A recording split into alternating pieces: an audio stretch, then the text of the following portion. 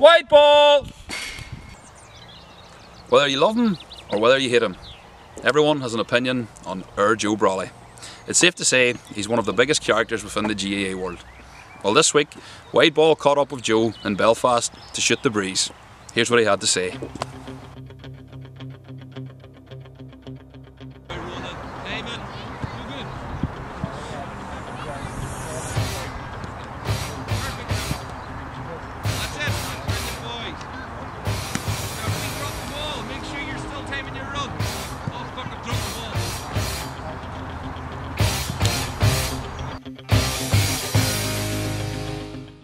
In general, what's your views on the current state of Gaelic football? Is it in a good place now or in a better place than it has been? Well, we have great numbers, great participation.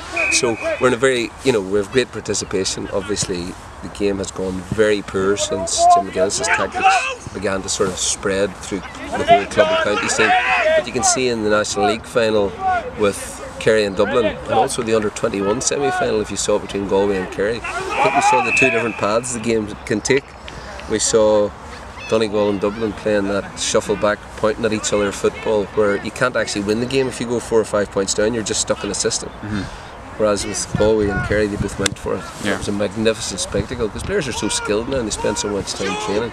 Yeah. So I mean, I think that um, the penny's starting to drop that you need to commit to attack, and uh-huh. Kerry showed that in the National League final. Absolutely. And hopefully, this is going to be the beginning of a recovery for the game because people really are it's well hard to losing interest. Aye. We love the game and we love you know uh-huh. we love the lads and we you know we, look we're here tonight. Aye. Look at the crowd that's here to see yeah. an under 16 league game up in Milltown. So we love the game, but we can do a lot better and it can be the best field game on the planet. Yeah. Well, back in your heyday, the players have had a, a, different attitude to the sort of hyper fitness model we're accustomed to in the more modern game. Well, it was a very different type of thing. I mean, the sort of training we were doing. I mean, Derry routinely would have trained four or five times a week whenever mm-hmm. we were in our pump. Yeah. But I mean, the training was nowhere near as scientific as it is now, and I'm sure a lot of the training we were doing was counterproductive. But know, it was worked. a lot of fun, and we did play man-to-man football. Uh-huh. You live, you know, you lived or died by man-to-man uh-huh. football. So if Peter Canavan got a goal and two points off Kieran McKeever, he wasn't looking over the sideline saying, "Here, boys, where's the sweeper?" You know, we played. The yes. two teams played and went for it.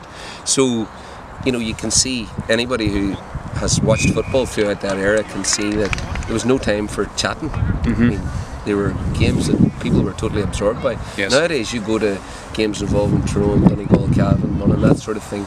And I know that Monaghan and Donegal are both now laterally trying to change their style to make it more attacking. Yes. Because they see, you know, mm-hmm. that, that they can't really succeed mm-hmm. playing with an entirely negative game plan. Yes. But you go to those games and you see people are chatting, they're having a conversation, it's like a cricket match.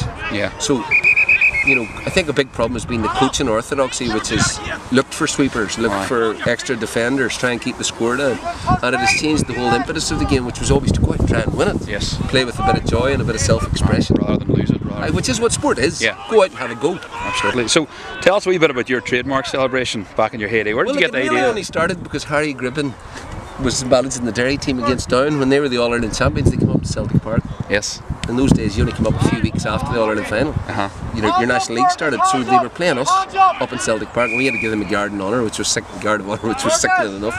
And anyway, I was a bit late for the game, and Harry didn't start me. Mm-hmm. Him and Coleman was away, so London working or something. So Harry didn't start me. We just always had a personality issue, you know. Yes. And. Um, Anyway, he brought me on me about 10 to go. Maybe we were three or four behind, and I just like completely ran right. You see, I was in Britton McKernan. He wasn't really a cornerback. He was a very good midfielder for Burren.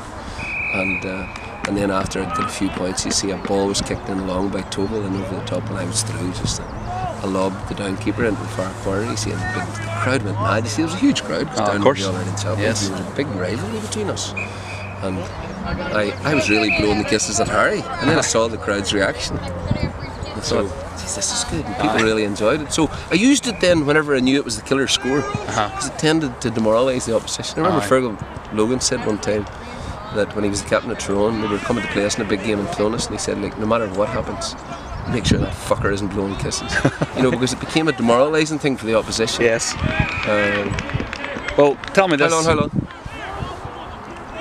Go on ahead. them happier times or glory days for Derry football, they seem to be a, a sort of a distant memory now. Yeah. What do you think's went wrong? Well, I think you know when we, we, we got to a National League final four years ago against mm-hmm. Mayo. Or we beat Mayo in the semi-final, a really electrifying game. Mm-hmm. We were playing the right way. All right, the Dubs dusted us then in the final, mm-hmm. but we should have stuck to our principles of playing Gaelic football. Instead, what has happened is we've imported this game where we've got everyone playing behind the 45. And I mean, for Yeah. example, against Down this year in the National League in Celtic Park, I mean, that's the lowest. I said RIP Derry football That's right. after the Tyrone match last year. Yeah. But I mean, we've never been lower than that Down game in the National League. Down hadn't won a match for two years Yes. until the previous Sunday when they were lucky against me, They got an early lucky goal and it gave them the impetus to hang on. Uh-huh. But I mean, after 29 minutes that day, the score Yeah. was 110 to a point for down. So, I mean, we had everybody behind the 45 all pointing, pointing at each other, no individual responsibility, and uh, I mean, it was the it was it was the low point for us, you know. Yeah. Well, listen. After Dublin's incredible But it can only get better. Look at Fergal McCusker's under 21s. We're playing a bit of football, playing with a bit of style. Yeah. Tell me a bit about Dublin's unbeaten run there, and now that it's came to an end, do you think is there any sort of merit with comparing them to the great Kerry teams of the 80s? Come on, referee! Apart from the fact you're 100 yards away from it. Come on. Look, he's allowed to open up his chest. That's all he did. He opened up his chest. Come on. Give the kids a chance. You're 100 metres away. Go on ahead. So he is, look at the shape of it. That's brilliant. You couldn't make it up. You got that right. Oh, aye. Go on ahead. I was just going to ask you, you got about, all that, aye? uh, about, all. about uh, Dublin's unbeaten run and the, mer- the does it the comparison between the great Kerry team of the 80s is that merited based on what Dublin have done?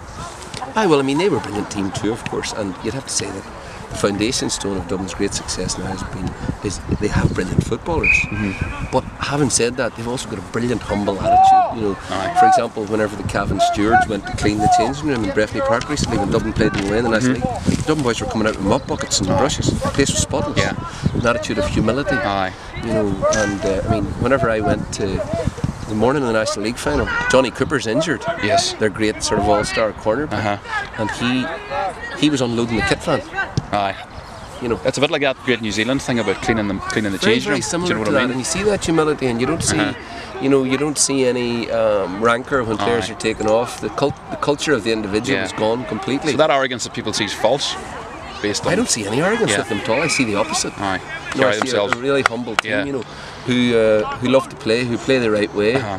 and I think that you're in a situation now where bit like what Oisin McConville said. I said, like, how, how six All Ireland club players? How do you keep going? He says, just love playing. Aye. You love to play with the team. You don't want to miss a game Aye, with them. That's the more important thing. See, Yes. Mm-hmm. people think it's about winning titles, but in the end, it's about that chemistry. Aye. Oisin was saying. You know, and if you asked Oisin, he would say, "Oh yeah, it was about winning titles." But in fact, what it's really about is huge enjoyment of playing Yeah. with the group. Like that. You don't want to miss a game. Aye. And that's what's that's what's missing in the modern game. Yes. Players leaving panels, boys going to America and said, boys don't want to play club championship now during the summer Mm-hmm. Because they're saying, what is the point of this? Everybody behind the 45. Aye. You So know, negative. Oh, it's wearisome. You're just treated as a robot. Uh-huh. You're just fulfilling a role that the manager foresees for you. Yeah. You're not expressing yourself. You know, so I have to ask you now to have you here. The comments over Gooch recently in his retirement, do you stand by him or He do you think- overrated Colm Cooper. Were they romantically overrated? No, no, I stand by them. You know, I think he was a marvellous Gaelic footballer, a beautiful Gaelic footballer, but he wasn't one of those footballers who'd turn a game around for you in the crunch. And you could see that. So the four All Irelands where he where he looked great were absolute routs against Mayo and Cork. And since 2009, since 2009, against really, really difficult opposition, really, really good teams who are getting stuck in, he hasn't been able to lead at all. Okay. You know, he's been a peripheral figure. And the great players who are held to higher standards, the Bomber Listons, the Jack O'Shea's, Yeah. who were able to drive through, you know, and change games. Padraic Joyce, players Yes. like that, Colm O'Rourke, turned two All Ireland finals. They're the, they're for me, they're the greatest. Well, I was going to ask you. Who, Colm's a beautiful finisher and a Yeah. beautiful man. I'm not going to turn him down if he No, wants to come and play for St. of course, aye. Please do. I was going, now But I think it's a different thing, and I think also for me it highlights, you know, the, the, the mock outrage that's out there all the time. Now, oh, how dare you? you know, yeah, of course. I mean, it was like criticising Mother Teresa. Ah. You know, silly stuff. Now that I have was you- just making a logical point. Of course. Well, listen. You mentioned the great footballers there. Who's the best you've ever seen or played against? Up close playing with James McCartan and Peter Canavan. Yeah. Extraordinary Gaelic footballers. Canavan's career longer, Canavan more skilled. McCartan changed everything for Ulster. He changed everything for Ulster. Mm-hmm. No Ulster team was going to win in All Ireland. He came along with that down team and just electrified the scene. Yeah. And he was unstoppable. Yes. You know, but he burnt out very quickly. Canavan extraordinary everything. A Yeah. warrior, a leader. When Peter Canavan was captain in Ireland against the Aussie rules teams, Colm Cooper wasn't going. Yeah. You know, I think that that's a good way to, to compare compare, the the two. two. Uh-huh. You know, I mean, um, give me Canavan every day because Canavan had everything and you couldn't sicken him. And whenever he was marking players like Kieran McKeever, who most assuredly would have done for somebody like Colm Cooper or Sean Marty Lockhart, Canavan refused to accept it. Aye. He fought and he fought and he fought. Never lay down. McKeever said it. Now, Canavan always said his misfortune was to play when Kieran McKeever and Sean Marty Lockhart were playing.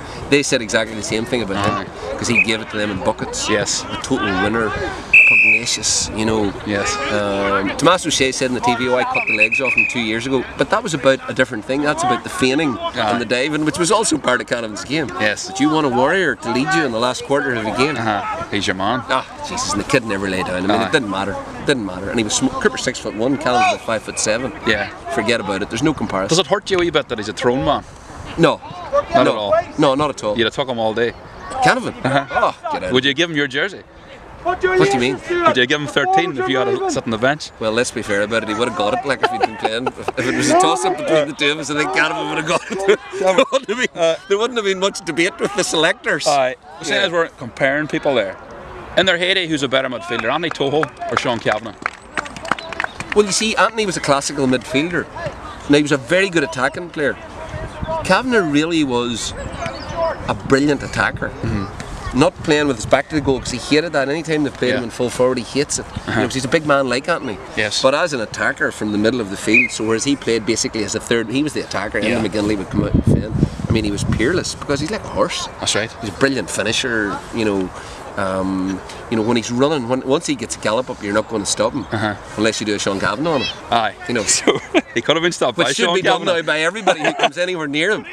Come here, I want to ask you. Aye, but I mean, you've got to see what a good footballer. Aye. I remember Cavanagh, the first time I saw what a great player he was going to be was when he was only, he must have been 19 or 20, and it was in Casement Park. We had drawn somehow with Tyrone in the first round in 2003. We drew with them. In fact, they got a draw with the last kick of the game. We nearly had them beat. Aye. And Cavanagh played midfield in the replay on Total. And like was a god of football then. Aye. Cavanagh must have scored five or six points. I mean, he was just awesome, and I Aye. thought, oh my god, this kid is. How's he doing that, Anthony Tohill? Yeah, because he attacks, Yeah. attacks all the time, and attacked down the middle. The young engine, I suppose, too. Well, not even then. Sure, I mean, up until two or three years ago, it was the same. That it, gallop, you know, that Yeah. pace and that desire. Yeah. I mean, he was a fabulous player. I still take Canavan though. You still take. Because Canavan, Canavan was, Uh-huh. Canavan came onto the field and a, a surge of excitement went through everybody. Does Canavan know you're such a big fan of him? Sure.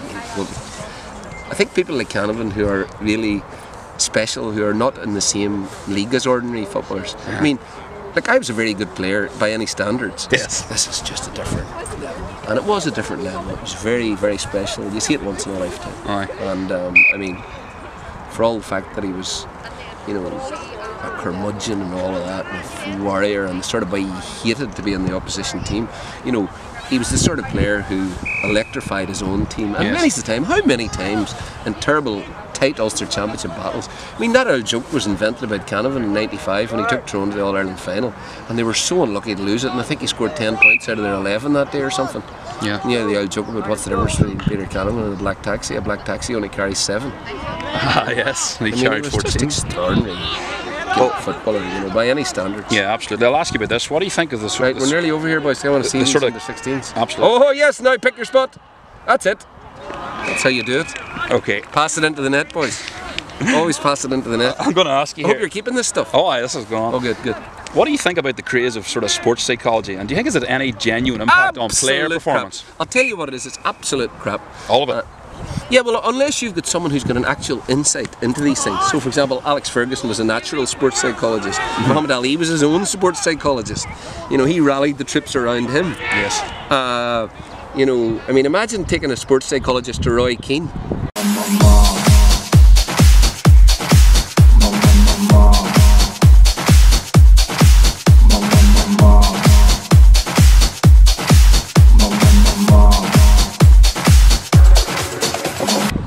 You understand? I mean, a lot of crap. Yes. It's, it's all, and a lot of it's just by the numbers. And of course, there's a big industry now of sports psychologists. So they go to, they do sports psychology in DCU or Jordanstown. Yeah. It's easy to get in there if you're going to be a Sigerson footballer. Yes. So they bring you in there. You do your sports psychology. Now I'm a sports psychologist. Uh-huh. Now you know, uh, you know, it's that sort of smile or die culture. Then you know, positivity. You know, and all of that stuff. You know, and, and they talk to people as if they were children. You know Do you ever wonder as if about they were mental patients in a nursing home. Do- So, you know, you see, I, I work in an area with hmm. law where it's forensic and things have to be proven and logical. Aye. The beauty of sports psychology is that it doesn't have to be proven. no science in it. So what they do is they say, for example, somebody will say, oh, well, I spent three weeks, I worked with Brian O'Driscoll. I worked with Brian O'Driscoll. Everybody says, well, he worked with Brian O'Driscoll. Brian O'Driscoll was scoring a hat-trick of tries against France when he was 20. Yes. I mean, he was one of the world's greatest rugby players almost as soon as he was out of the cradle. Mm-hmm. You know, and what you see is a lot of them attach themselves to players like this. Yes. You know, there's a sports psychologist, I think her name's Brie Currid, and she um, met with Paul O'Connell. Yes, I was going to ask you about that. Paul O'Connell was, was had come second in the World Player of the Year poll the year before. You know, I know. what- He's already say, the finished article, Well, I've worked, basically. I've worked with Paul. I've worked with some of the biggest names in sport. Yes. So then they've established their credentials, and a lot of it's spoofology. You know. I Uh-huh. could, do you know what? I would be a brilliant sports psychologist. I could make fortunes. Could be a And I could do you. that. I could do that web summit stuff, and I could Uh-huh. do all that sort of you know that Deepak Chopra stuff. You know. And uh, and people would believe me. I could go on the Oprah Winfrey show Uh-huh. and say that I've got healing powers. Yes. I can help your cancer. A Load of balls, you think? Oh shit! What the shit. Finally, who's going to win Sam Maguire this year? Can Dublin be stopped? In Championship? I'm not sure that they can. You know, don't forget they haven't started their championship training yet. And if Mm-hmm. Dean Rocket scored that point in the National League final, they would have won it. Anyway, I shouldn't be telling you this, but RTÉ paid me a fortune. Good luck. Good Perfect. Joe.